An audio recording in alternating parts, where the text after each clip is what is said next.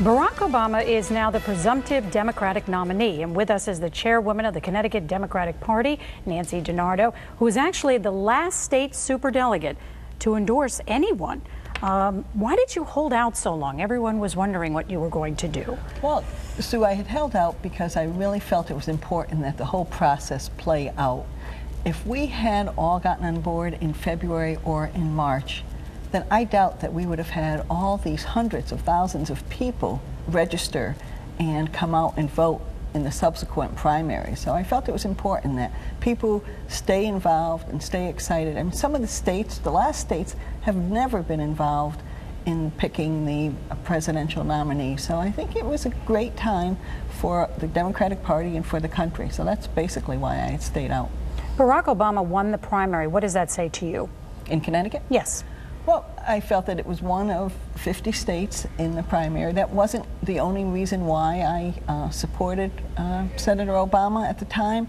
I felt that I wanted, as I said, I wanted to wait until everything uh, played out and who would be the best one for our convention so that who will go on to win in November. And I did feel that both of them uh, were great candidates and both could probably win. I felt that he was going to be the front runner and make the difference.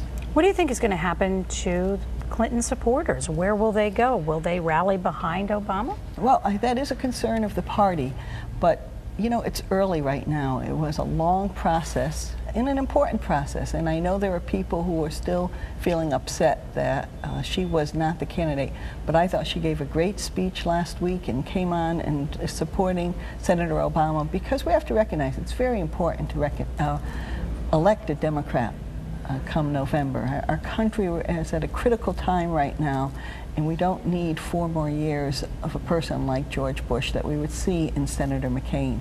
And we have to start moving forward and building the country up, uh, having people from other countries like us again. And right now, we are not very well liked, and it's very important to have a person that can restore faith in our country. And I do believe uh, that is Senator Obama.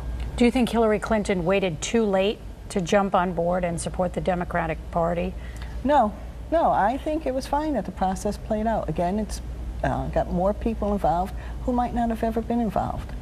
What about the running mates? What do you think uh, Barack Obama will do? You know he must be thinking about it. You probably have a lot more information than we well, do. I don't have a lot of information other than he is looking at a lot of different people. And he's looking at, obviously, Hillary Clinton, and he's looking at governors, but he's also looking at Chris Dodd. Chris Dodd is still in the mix as a possible uh, running mate for him. I know there are many people who really would like to have Hillary Clinton uh, be his running mate. Um, and it certainly would add a lot to the ticket as uh, she has said, you know, it's 18 million people that she had supporting her. So it can certainly be her, and it would be a party unifier, but it's hard to say right now. I mean, he's looking at everybody, so it's going to be an interesting process still. How does that work? I mean, you have two people like Obama and Clinton who fought so hard against each other and then come together. Uh, does that work in your mind? Is that a good, successful ticket? Oh, I think it'll work. I mean, what they were trying to do is distinguish themselves from each other in the primaries. And it was very difficult because so many of the issues that they uh, believe in, they're very similar. So I think that's what happened and, um, as they were trying to campaign. Uh, they were poking fingers at each other to distinguish themselves from one uh, from the other. So I really do think that it is definitely possible. It was interesting because last week on Face the State, we had your counterpart, Chris Healy, from the Connecticut Republicans, who, despite the fact that Obama won the primary here in Connecticut, and we haven't had a Republican uh, in the White House since, what, 88? Uh, that he feels that uh, Obama is not going to win Connecticut and that McCain is going to take the state. What's your reaction to that? Oh, I don't think so. I think you meant uh, we haven't, Connecticut hasn't gone for a Republican since 1988. Um, but um, no, I don't believe so. I, I, think if you look at the polls, although polls, it's still early, are uh, clearly showing that Senator Obama uh, will win this election. But Uh, Connecticut has been a strong Democratic state uh, for many years, and I doubt that it will go for McCain.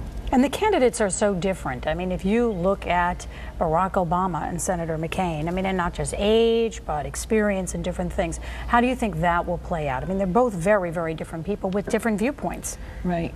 But what you see in John McCain really is another George W. Bush. And that is not what the country needs right now. We do need to have change, and we need to have somebody that will uni unify people, energize people, and get people uh, working together in America, and that would be with Senator Obama. Tell us about the convention, what you think is going to happen there. well, that's, that's going to be, I think it's going to be very exciting. We're getting a lot of people who want to come as guests, but uh, we really don't know what kind of passes there's going to be because um, so many people want to be part of this historic time.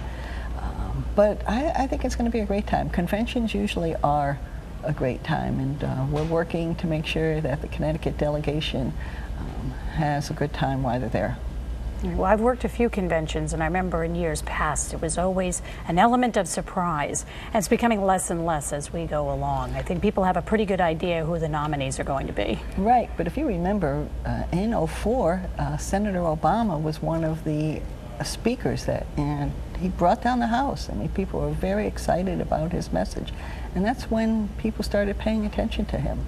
So I don't know who the speakers are going to be, but I'm sure there'll be some exciting people again this year. And you'll be there with the super delegates Yes. and delegates Yes. from Connecticut. 60 delegates from Connecticut. Excited? Yes, absolutely. Okay, thank you. Well, we oh, hope Oh, to have you, you. back here sometime again, hopefully yes. soon. All right, Absolutely. thank you, Nancy Okay. DiNardo.